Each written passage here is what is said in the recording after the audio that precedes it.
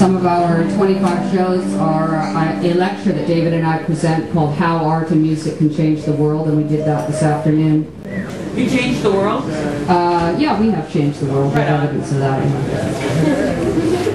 You can- I can give you a little lecture on how to go about Give it that. up. Give it up. Later on, let's meet up Spread the outside. word. So step outside, young man. I was furthering my self-portrait series and doing this image, which is basically what a woman sees looking straight down. Uh, it's uh, acrylic on cream velvet, so it's, it's rather sensuous. And so I was doing a series of these and pinning them on the wall, and one got pinned up this way, which is technically upside down, but when I looked at it, I realized how much more familiar it looked to me and easy to identify in that it is looking at the woman as the subject from an external vantage point. So this being what the woman sees of a document of herself is not as familiar. We began our tour in Vancouver. We did a couple of sessions in a high school. There were about 150 of them in these two blocks.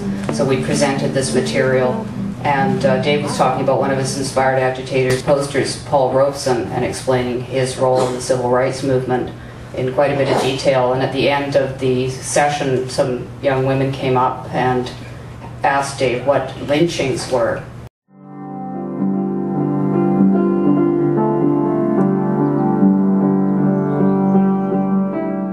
There are quite possibly great blocks of history and our own, which our own freedom is hinged to, that, that people have not been taught or they have not found access to.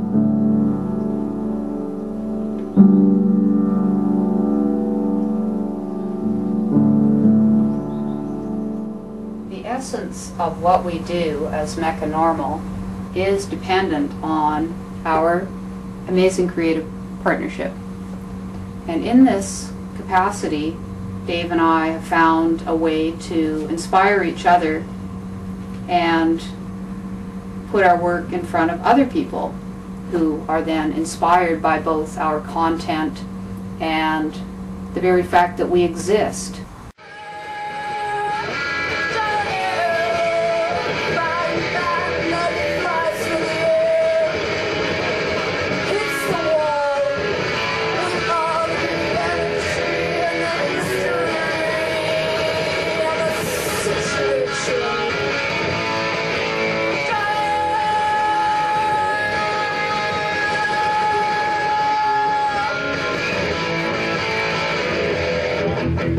Do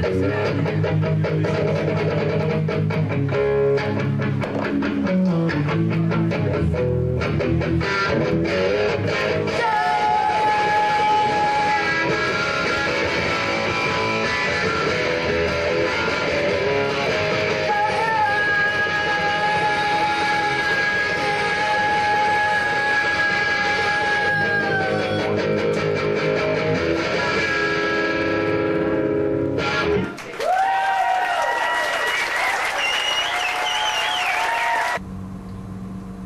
get the butter knife?